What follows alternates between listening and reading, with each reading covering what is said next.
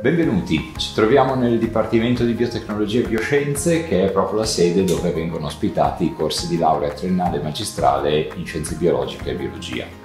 Vi volevo raccontare qualche cosa riguardo a questi due corsi di laurea e soprattutto come sono incastonati all'interno delle attività di ricerca del nostro Dipartimento. Il Dipartimento di Biotecnologie e Bioscienze avuto il privilegio di essere stato selezionato tra i dipartimenti di eccellenza eh, in passato. E noi abbiamo fatto uno sforzo per integrare le attività didattiche dei nostri corsi di laurea con quelle che sono le attività di ricerca che si svolgono nel Dipartimento, che sono attività intrinsecamente multidisciplinari, proprio perché le sfide che la biologia moderna ci pone davanti sono anche delle opportunità, sono anche delle opportunità che in qualche modo dobbiamo cercare di seguire, di affrontare e da questo punto di vista i corsi di laurea sia triennale che magistrale eh, sono stati recentemente, soprattutto quello della laurea magistrale, riformulati proprio per andare incontro a quelle che sono le esigenze che ci pongono le problematiche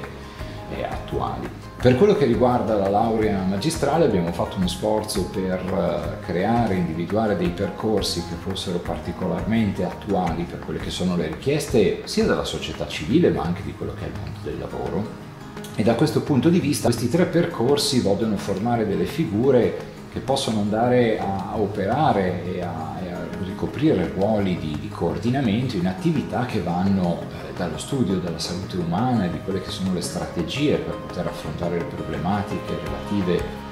a patologie come tumori, malattie neurodegenerative, problemi di tipo cardiovascolare che sono particolarmente attuali fino alla formazione di figure che invece hanno una profonda competenza nell'ambito ecologico, ambientale, della sostenibilità, della salvaguardia della biodiversità, che è un aspetto altrettanto fondamentale per quello che riguarda il rapporto tra l'essere umano e gli ecosistemi.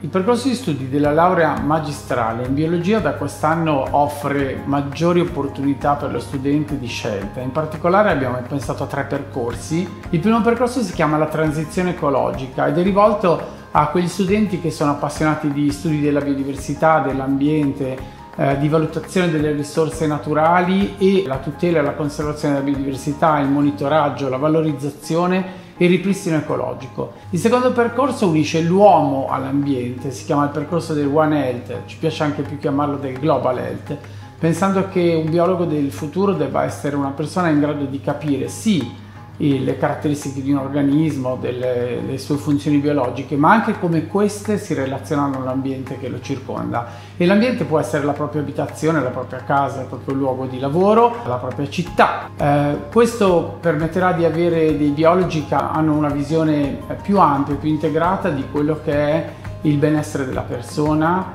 ma anche il benessere dell'ambiente. E infine l'ultimo percorso, che è quello un po' più direzionato alla cura e alla prevenzione delle malattie, meccanismi molecolari delle malattie, diretto a studiare una patologia o comunque un'alterazione metabolica, una problematica fisiologica da tanti punti di vista, con un approccio integrato e multidisciplinare, perché un biologo di oggi deve sapere valutare tutta una serie di fattori che possono essere elementi alla base appunto di un'alterazione sistemica, di un'alterazione biologica e quindi possa supportare il medico, l'analista, tutta una serie di figure professionali, identificare quali sono i percorsi terapeutici o di prevenzione più appropriati per garantire appunto il benessere della persona e migliorare lo stato di salute.